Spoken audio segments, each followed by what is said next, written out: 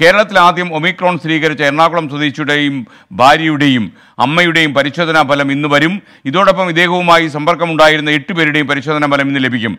Risk പട്ടികയിലുള്ള പന്ത്രണ്ട് രാജ്യങ്ങളിൽ നിന്ന് നാലായിരത്തി നാനൂറ്റി ഏഴ് യാത്രക്കാരാണ് കേരളത്തിലെത്തിയത്. ഇതിൽ പത്ത് പേർക്ക് കോവിഡ് സ്ഥിരീകരിച്ചു കഴിഞ്ഞു. രോഗം സ്ഥിരീകരിച്ചതിൽ എട്ട് പേരുടെ ജിനോം ഫലമാണ് വരാനുള്ളത്. വിശദാംശങ്ങളുമായി ശ്രീകാന്ത് നമുക്കൊപ്പം ചേരുന്നു ടെലഫോണിൽ. Srikanth good morning. വിവരങ്ങൾ. Good morning S K N ഈ ഒമിക്രോൺ വകഭേദവുമായി ബന്ധപ്പെട്ട രോഗം സംശയിക്കുന്നവരുടെ പരിശോധനാ ഫലം ഇന്നെത്തും എന്നാണ് പ്രതീക്ഷിക്കുന്നത്. രോഗം സ്ഥിരീകരിച്ച എറണാകുളം സ്വദേശിയുടെ ഭാര്യയ്ക്കും അമ്മയ്ക്കും കോവിഡ് ബാധിച്ചിരുന്നു. ഇവരുടെ പരിശോധനാ ഫലവും ഇന്നുണ്ടാകും.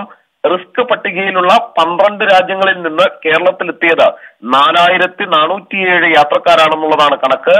ഇതിൽ പത്ത് പേർക്ക് കോവിഡ് സ്ഥിരീകരിച്ചിട്ടുണ്ട്. രണ്ടുപേരുടെ ജിനോം പരിശോധനാ ഫലം ഇതിനോടകം വരികയും ചെയ്തിരുന്നു. ഒരാൾ ഒമിക്രോൺ പോസിറ്റീവായപ്പോൾ രണ്ടാമത്തെ ആൾക്ക് നെഗറ്റീവാണ് റിപ്പോർട്ട് ചെയ്യപ്പെട്ടത്.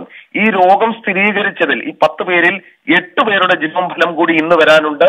ഈ ജിനോം ഫലം എന്ന് പറയുമ്പോൾ ഈ ഒമിക്രോൺ സ്ഥിരീകരിക്കുന്നതിനുള്ള ടെസ്റ്റ് ആണത്. ആ ഫലമാണ് ഇന്ന് വരാനുള്ളത്. എട്ട് പേരുടേതാണ് വരേണ്ടത്.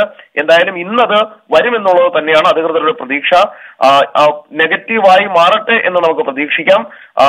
ഒരുപക്ഷെ പോസിറ്റീവ് ആവുകയാണെങ്കിൽ തന്നെ അതിനുള്ള ക്വാറന്റൈൻ നടപടിക്രമങ്ങൾ ഉൾപ്പെടെ ഇന്നലെ തന്നെ എറണാകുളം ജില്ലാ ഭരണകൂടം ഉൾപ്പെടെ കൃത്യമായി അത് ചെയ്തിട്ടുണ്ട്. Thank you Srikanth.